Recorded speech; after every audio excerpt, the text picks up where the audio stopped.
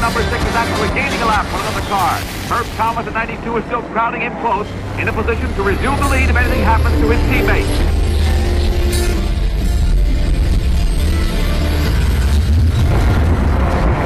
16 miles from the start. In sixth leads past the starting line, still followed by Thomas, Kirkwood, Flock, and Moore. This is a battle royal. Tommy Thompson gets the signal. He's running seventh. There's trouble in the pit. It's early in the race, too. Down the beach, Teague past every straggler. These are stragglers, too, even though they might not look like it.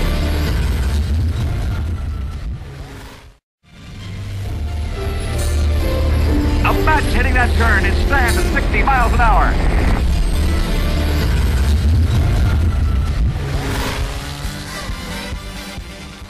Folks, no special trick gadgets are allowed in these cars. You and I could do as well if we had the same courage and skill that we see in these drivers.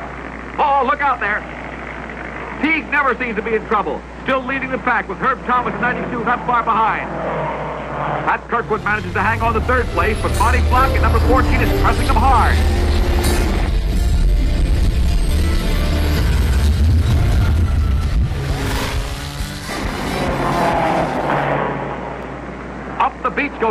A in a hurry, and that's Marshall Teague, of course. Driving his number six, he's showing why he's been able to win four consecutive major NASCAR races and two Grand National Championships.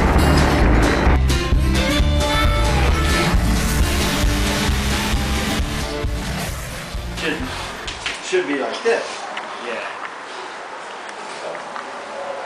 Well, looks, anyway, so we're good. redoing all the red. The red is first to fade, so it's Yeah. done good for 12 years, 15 years. Yeah. So